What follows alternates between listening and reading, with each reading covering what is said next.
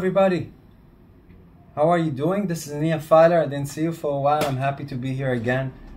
New house, new territory. A lot has changed in the world, in our world, personal world, in the grand world above us and beyond us.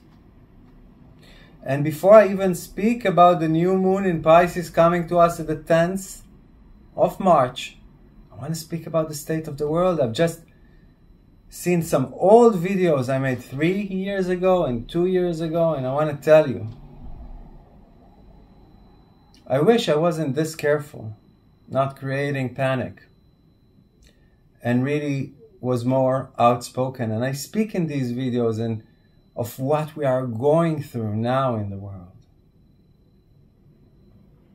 And I speak about the planets that came in with COVID 2019 and now their cycle has always been, and we're talking about uh, uh, Saturn, Pluto cycles, have always been cycles that have been times of great update for humankind and great suffering.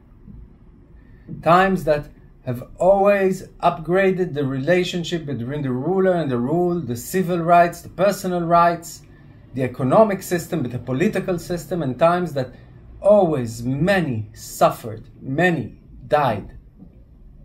Times that have always started with a plague or a natural calamity that brought on a plague. And the plague brought on economic strife and imbalance, and that brought, brought on political strife and, and, and, uh, and uh, imbalance. And eventually there was a big war that changed the lines on the maps, brought up new superpowers and brought down others. And it seems, like I said, that the time that we would miss COVID is here.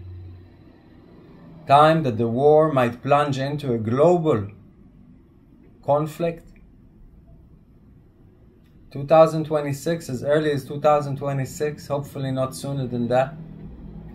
But if we won't do everything in our power to seed love and understanding between humankind, we are very likely to go into a third world war by the end of next year. Hopefully not. But we all know things are brewing. East, west. The pawns are on this are on the set ready. On the board. Ready to be played. Goddess forbid. And indeed, in this time when I'm reminded of the hardship, of the suffering, when tears rise up for the dying of men and women and children, animals being extinct worldwide, facing not just death, but a finality of existence for their kind. I let these tears have a place of honor. I taste their healing taste in my mouth.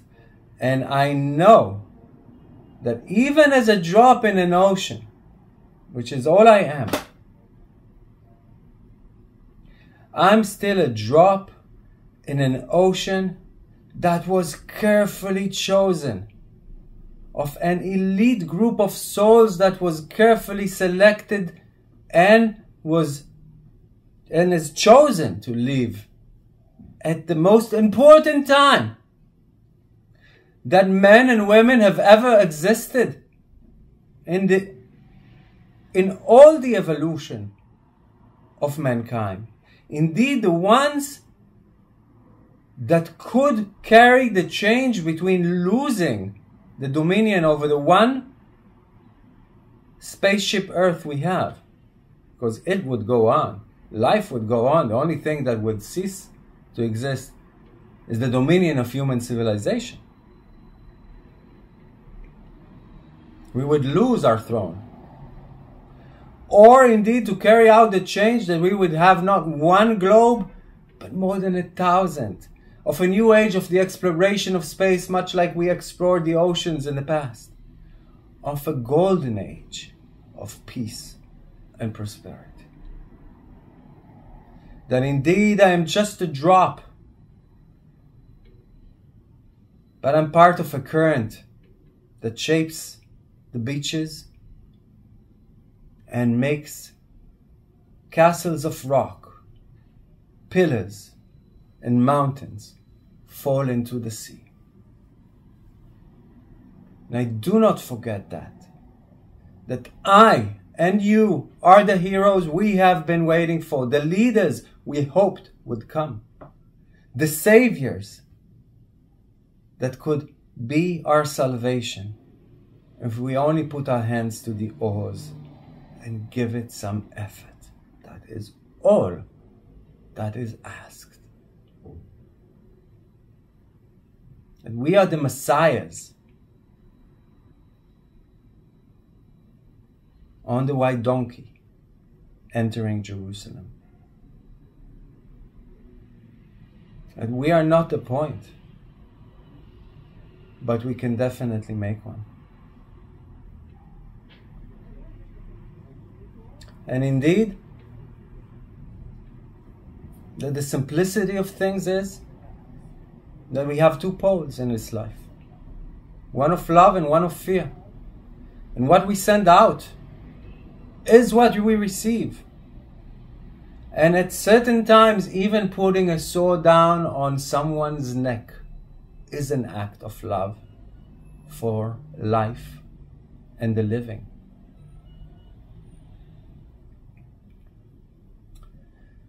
This is a time that we could upgrade our philosophies, our understandings of the truth, of what it is all that we are part of, widen our horizons, enrich ourselves with higher knowledge and consciousness, and indeed, this is the time of the quickening Jupiter. It's conjunct Uranus. We are in the age of Aquarius, and our consciousness is being upgraded continuously faster and faster and faster. We could now use the assistance of our guides, angels, whatever you call them, ancestors, of your personal divine guidance around you all the time. Feel them, utilize them, ask for their power to give them, to give you power to make the changes needed in your life and the lives of others. Utilize friends and community because it is not alone in this age of Aquarius that we do and change things. Seek out the ones that are different as you are and join forces.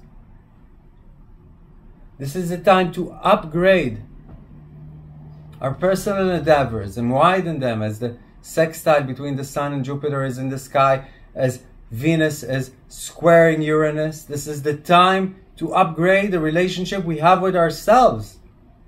How we treat this vessel that we are in, and this new moon is a lot about health. It's conjunct Hygeia. It's opposing the black moon Lilith. This is a time to upgrade and better our communication with the world and our environment the way we choose to navigate through this borderless world. The reasons that make us move in this world and think in this world and the thoughts that guide us. Indeed, with Mercury sextiling Uranus at this time. But the, the ugly head of illusion the ugly head of conspiracy and not knowing what the truth is, of having no reliability of where this world is going, is rising with Mercury conjunct Neptune as we head in to this new moon and the 10th of March. This is a time that we could snap at other people, we could lose our temper, we could want to get ahead so bad that we throw away the baby with the bathwater. That we throw away from our lives people and projects that actually bring essence into our lives and value into our lives just because we want to get ahead.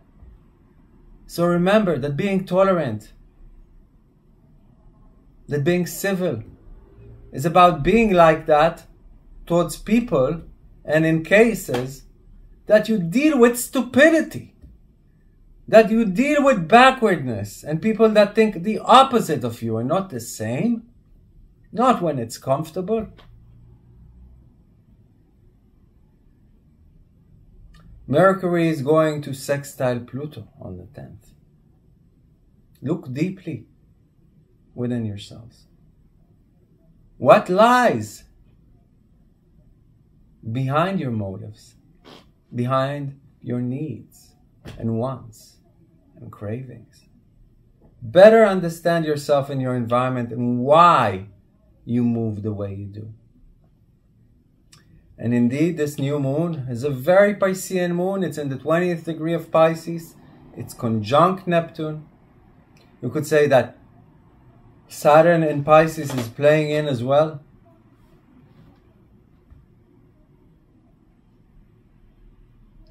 Saturn always brings up the need to see reality as it is, not as we wanted it to be or feared it might become the so-ness, as they say in Zen Buddhism, of reality, it is so.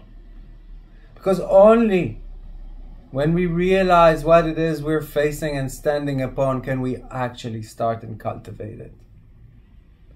It's conjunct Hygeia that talks about the hygiene, not only on the physical level, but on the mental and emotional level that we need to adopt in our lives, and it's facing Black Moon Lilith that tells us about the unconscious self destructive mechanisms that could rise up, especially in uh, the term of health, stress, and the way we run things in our lives and our daily lives, the way we criticize ourselves or others, maybe too harshly. So, indeed, changing our habits, daily habits, is encouraged at this time. It is facing Juno Moneta that tells us that staying loyal to the hearth of the house, the fire of the house, that really warms up the house and makes it a place that is protected from the outside world, from the weather that is ever changing, that is inviting, that alliance to the things that matter most in life, like family, and our intimate circle, and the way we provide monetary and uh, uh, um, physical sustenance to our lives. Because Juno Moneta is about money as well. Hera. Not only alliance to family and the things most important and intimate in your life. This new moon is sextiling Uranus. That talks about the social, and the human upgrade that can now be achieved by us. By allowing this sensitivity to flow within us, by letting this femininity to flow within us, by allowing this divine creativity and spirituality that is not of this world but of the eternal world of ideas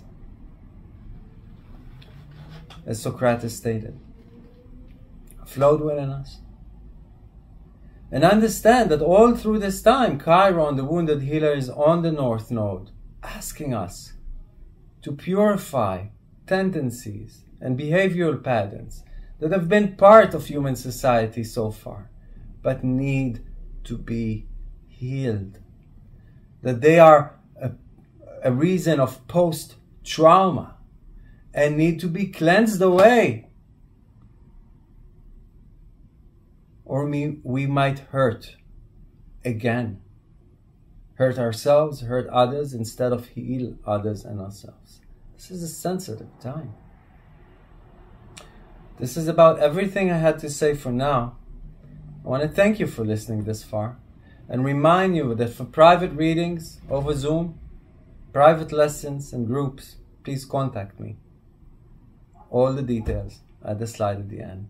May we all live long and prosper. Taku Yasin. This is Nia Fyler. Goodbye.